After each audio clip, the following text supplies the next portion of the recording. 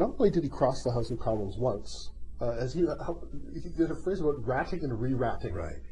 Me about that. Yes. He said a lot of people have ratted, but it takes some courage to re-rat. he did. He, he, he was 20 years a Liberal. He really was the one of the great figures of liberal social reform, social legislation, transformed the face of Britain as far as the decent way of life of working class people was concerned and their opportunities. Uh, but then the Liberal Party declined and broke up and became just broke up, fragmented. And there were two parties, socialist and conservative. And he wasn't a socialist. He didn't like the regimentation of socialism. And so he returned to the conservatives. And they were not particularly happy with him.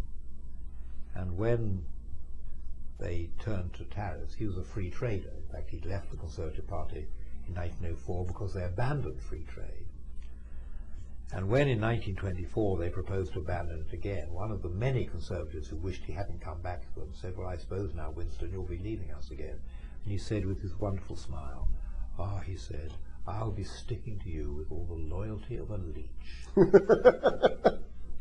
What do you think he would think of the current state of parliamentary democracy? Because I've got the feeling he would not be impressed.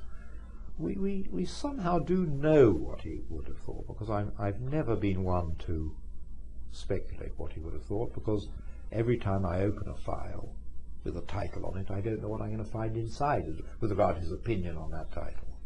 But one thing which did distress him, which, which is, is affecting many democratic countries today, is the decline in voter participation, the decline in the percentage of people casting their votes, and the concomitant lack of interest in the electoral process. I mean, I can remember when I was a teenager, certainly the Member of Parliament during an election came round to every street. And he may not have knocked on every door, but he was there in the street, he'd have a megaphone, people would come out and talk to him, he'd certainly knock on some door. But now in an election campaign you never see your potential Member of Parliament. Uh, so he, he was so concerned about that aspect, the decline in voter turnout, that towards the end of his life he favoured compulsory voting, which I think happens now in Australia, probably in one or two other countries. And he, he, he was not happy when the when the House of Commons was empty, which it could be also in his time. Uh, he, he, he, because he was such an interesting speaker, even when he was totally controversial, say during the appeasement period, when the vast majority of members of Parliament supported Neville Chamberlain appeasement. Nevertheless, when he got up to speak against it, the House filled up. That was an extraordinary phenomenon. There'd be 50 people in it, and by the time the word went round the lobbies, Winston's up next, there'd be three or four hundred people in it. And there was a wonderful occasion when he, he they all crowded in to hear him, and he made a speech warning about the German danger. And somebody called out, Here endeth the book of Lamentations. And at that moment, someone else, watching everybody then disappear, didn't want to hear the next speaker, said, followed curiously by Exodus. And the title of the book, The Will of the People, I love where it comes from. 1945, his wartime coalition had dissolved because the Labour Party didn't want to serve anymore in a coalition. They'd been 15 years out of power. They wanted to go back to party politics. So the 1945 election was fought between the Conservatives and Labour.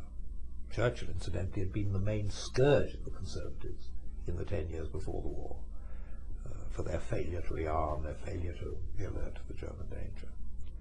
The Conservatives were defeated, and as he was then no longer head of a wartime coalition, because it didn't exist, he was head of a Conservative party, which he'd never got on particularly well with. So they were defeated, and he was out of office. And people commiserated with him and said, you know, how ungrateful British people were. And his reply was, it's the will of the people. And he really believed, I mean, that just wasn't a flippant. Oh, no, he really, he certainly really believed it. He'd always, he, you know, whenever people said to him, talked to him about the ungratitude of the British people with regard to any election result where he was, you know, he, he had problems in many, he, that always annoyed him, actually. He thought, well, wait a minute, the, what we're about is the votes of the people. That's what we're here for. And if they don't want us to represent them, then someone else will represent them. And his phrase, when he was uh, uh, talking about it, he was defeated in July 1945. A year and a half later, when things weren't going so well for the Labour government, they had a lot of difficulties. Uh, and he then made the rather telegram. He said, Well, the British people have always done what they like, but they haven't always liked what they've done. The book is The Will of the People, Winston Churchill and Parliamentary Democracy. I've been speaking with the author, Sir Martin Gilbert, and The Will of the People, published by Vintage Canada.